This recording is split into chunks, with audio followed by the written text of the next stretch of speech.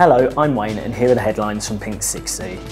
India's health minister has claimed homosexuality is an unnatural disease from the West, drawing outrage from activists across the world. The comments came just one year after India made the first step into criminalising gay sex.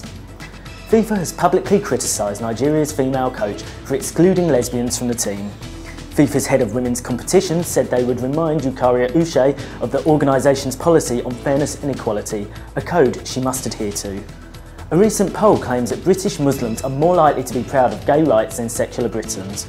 The research was conducted by YouGov for a forthcoming study about conservative attitudes to race and ethnicity. Prolific lesbian activist Jean Harris has died in her native California aged 66. The influential campaigner was found dead at her Palm Springs home by partner Denise Penn.